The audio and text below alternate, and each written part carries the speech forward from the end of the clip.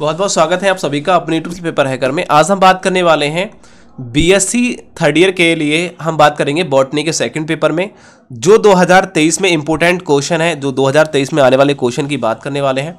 आप इन क्वेश्चनों को याद करके पिचासी परसेंट प्लस लाने वाले हैं। एक भी परसेंट कम नहीं आएगी। वादा करता हूँ आपसे, एक एक क्वेश्चन यहीं से आएगा। जो मैं क्वेश्चन इस वीडियो में बताऊँ, भाई आपको याद करना है, इसके अलावा कुछ याद करने की ज़रूरत नहीं पड़ने वाली है एक्स्ट्रा कुछ भी। बस यही रट लो, यही याद कर लो, यही समझ लो, जो भी आपका दिल करना है, चाहे रटो, समझो, या फिर इसको घोल के पी जाओ, लेकिन बस यही क्वेश्चनों को देखना है, ठीक है? और 85 परसेंट प्लस टॉपर बनने वाले हो। मतलब कि आप चाहते हो यार मैं फेल हो जाता हूँ बार बार अरे फेल होने की झाड़ी खत्म हो जाएगा पेपर हैकर से जुड़ गए।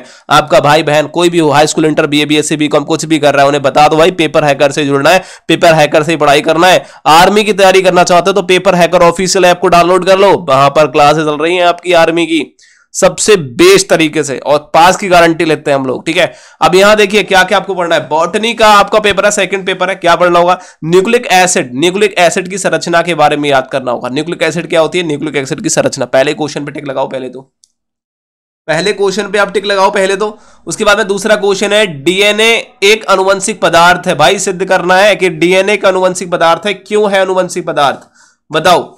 जेनेटिक मटेरियल क्यों है ये? डीएनए ये भी आपको बताना है। जेनेटिक कोड को याद करके जाना है। बहुत महत्वपूर्ण कोड अरे भाई, अब कुछ लोगों के दिमाग में आ रहा है, ये लॉन्ग में आएगा या शॉर्ट में आएगा सर ये तो बता दो मुझे। तो बेटा, सुन लो। यदि आपके बुक नोट्स गेस्ट पेपर में लॉन्ग में दे रखा हो क्वेश्चन तो लॉन्ग में याद करिए। शॉर्ट में दे रखा है तो शॉर्ट में याद करिए। मेरे हिसाब से ये क्वेश्चन लॉन्ग में आएगा। ये वाला जो है, ये भी लॉन्ग में आएगा और ये भी आपका लॉन्ग में आएगा। अब आपके में शॉर्ट में दे रखो तो आप परेशान हो जाओगे। तो आपके पास में जो भी शॉर्ट है तो शॉर्ट में याद कर लीजिए। लॉन्ग है तो लॉन्ग में याद कर लीजिए। ठीक है? करना याद है फ़िलहाल इस क्वेश्चन को। उसके बाद में क्या आता है? देखिए प्रोटीन संश्लेषक किस तरीके से होता है, आप ये देखेंगे। विटामिन के कितने प्रकार होते हैं, आप ये देखेंगे और विटामिन के सभी प्रकारों का वर्णन करेंगे। कार्बोहाइड्रेट्स क्या है, इसके बारे में पढ़ेंगे। प्रोटीन संश्लेषण में ऊपर बता चुका हूँ, उसकी संरचना, उसके प्रकाश उसके क्लासिफिकेशन के बारे में।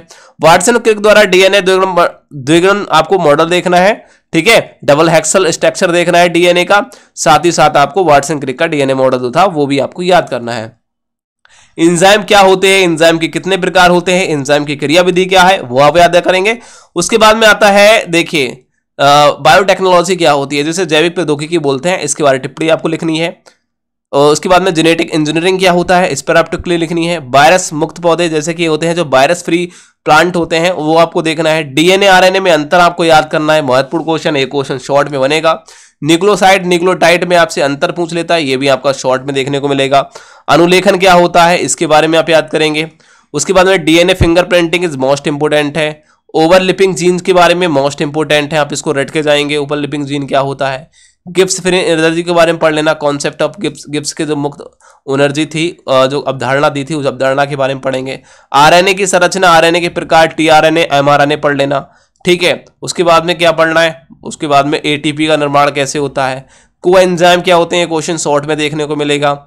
नीचे पहुँच जाओ, नीचे और पहुँच जाओ। पादप संवहन तक प्लांट टिश्यू सिस्टम कल्चर जिसे बोलते हैं, इसको पढ़ लेना है मोस्ट इंपोर्टेंट है।